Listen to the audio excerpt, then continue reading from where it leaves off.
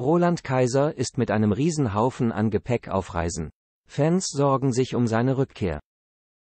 Um Roland Kaiser, 71, könnte es in nächster Zeit ruhig werden, denn der Schlagerstar verabschiedet sich vorerst ins Ausland.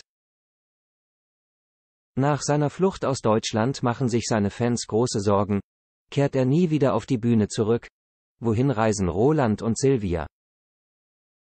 Ein Foto mit seiner Frau Silvia, 58, auf seinem Instagram-Kanal gibt Rätsel auf. Wir sind dann mal weg.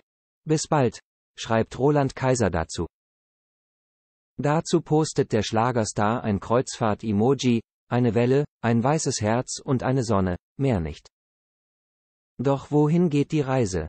Mit zehn großen Koffern hat sich der 71-Jährige auf den Weg gemacht. In den sozialen Netzwerken hat er ein Schiffsmodell der alten R. M. S. Caronia geteilt. Ein solches Modell steht auf den Schiffen der Luxusreederei Cunard.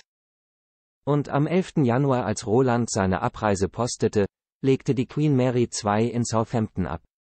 47 Tage. Über die Kanaren nach Südafrika, La Réunion nach Australien.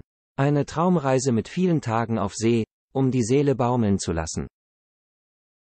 50 Jahre Roland Kaiser. Und Roland Kaiser kann seine Batterien wieder aufladen. Erholung pur. Doch am 24. Februar zeigt das ZDF Giovanni Zarella präsentiert. 50 Jahre Roland Kaiser, aber dann ist der Jubilar gar nicht da.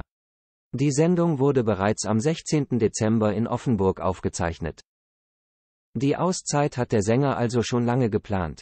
Nun hoffen seine Fans, dass er im Mai wieder zurück ist. Dann startet seine große Jubiläumstour 50 Jahre 50 Hits. Und da wird er sicher wieder in Topform sein.